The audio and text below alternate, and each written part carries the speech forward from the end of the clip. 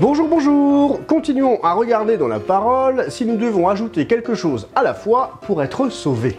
La dernière fois, nous nous sommes penchés sur la loi. Et Eh, c'est un gros morceau la loi dans la Bible, hein d'un côté, la loi nous demande d'obéir, mais d'un autre côté, un seul faux pas et tu mourras certainement. C'est quand même pas très facile à comprendre. En plus, Paul nous dit dans Romains 3, 30 à 31, Puisqu'il n'y a qu'un seul Dieu, il va rendre juste à ses yeux les juifs par la foi et les non-juifs également par la foi. Cela signifie-t-il que par la foi nous enlevons toute valeur à la loi? Bien au contraire, nous lui donnons sa vraie valeur. Notre salut par la foi en Jésus n'annule pas du tout la loi, elle la confirme. Mais elle la confirme comment? Eh bien, en saisissant par la foi le fait que Christ a payé pour nous à la croix. Nous étions injustes, coupables vis-à-vis de la loi, Jésus vient et il paye. Et dès que nous croyons en cela sincèrement, alors Dieu nous place en Christ et considère que en Christ, eh ben, nous avons satisfait toutes les exigences de la loi. Elle ne peut plus nous condamner.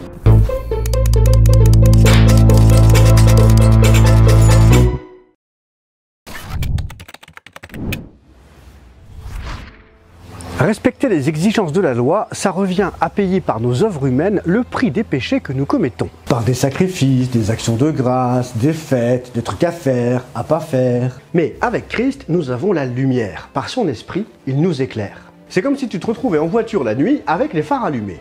Tu vas pas aller voir la police et payer une amende parce que tu roules dans le noir, puisque t'as la lumière de tes phares qui t'éclaire. Ce serait pas logique d'avoir la lumière et d'aller payer une amende comme si tu l'avais pas. Les phares, c'est notre foi. L'amende à payer, c'est ce qui est dicté par la loi, si tu respectes pas. Jésus a fait tout ce qu'il faut pour éclairer notre route. Ta parole est comme une lampe à mes pieds. Prenons Galates 2, versets 16 et 17.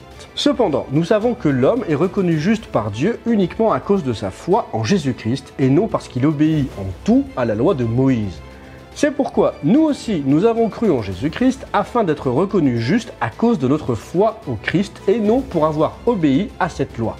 Car personne ne sera reconnu juste par Dieu pour avoir obéi en tout à la loi. Mais si, alors que nous cherchons à être reconnus justes grâce au Christ, il se trouve que nous sommes pécheurs autant que les non-juifs, cela signifie-t-il que le Christ sert la cause du péché? Certainement pas. Paul écrit ça parce que certains Galates pensaient que la foi n'était pas suffisante. Oui, nous sommes juste devant Dieu par la foi, mais en plus, maintenant, faut obéir à la loi. Mais Paul ici nous dit un truc de fou. Personne ne sera reconnu juste par Dieu pour avoir obéi en tout à la loi. Et qu'en plus, si nous avons cru en Christ, nous sommes encore pécheurs, ça veut dire que le sacrifice de Jésus pour qu'on soit juste ne sert à rien Certainement pas. Admettons que je sois malade. Je vais voir le médecin, il me donne un traitement, et si au bout de 10 jours je ne vais toujours pas mieux, je vais aller voir un autre médecin qui va me prescrire un autre traitement. Bah là, c'est pareil, la loi ne change rien à notre condition de pécheur devant Dieu. On a beau prendre le traitement de la loi, ça ne fait rien. Galates 2.16, personne ne sera reconnu juste par Dieu pour avoir obéi en tout à la loi. Je suis toujours pécheur aux yeux de Dieu. La question de Paul est donc, si nous ne sommes pas justes après avoir cru au Seigneur Jésus, est-ce que cela revient à faire de Jésus un serviteur du péché? Certainement pas.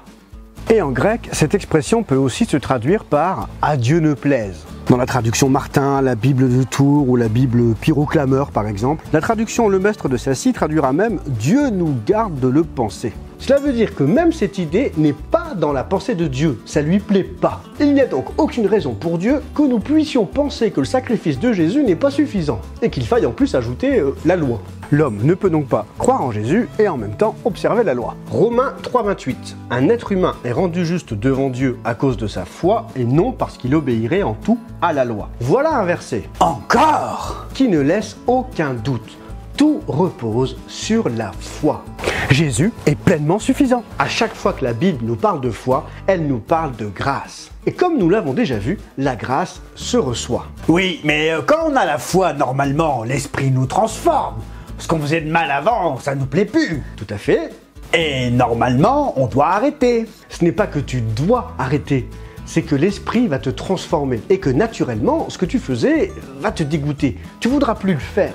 Et ça, c'est la preuve que l'Esprit de Dieu agit en toi. Tu te laisses transformer et ta manière de vivre se transforme. Dieu renouvelle ton intelligence, ta manière de voir les choses. Oui, mais Jésus nous dit qu'on doit aider les pauvres, les orphelins, donner à ceux qui n'ont rien.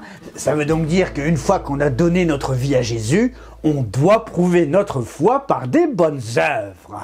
Ah, les bonnes œuvres bah, C'est ce que je vous propose de voir dans l'épisode suivant. A bientôt, bonne journée, soyez bénis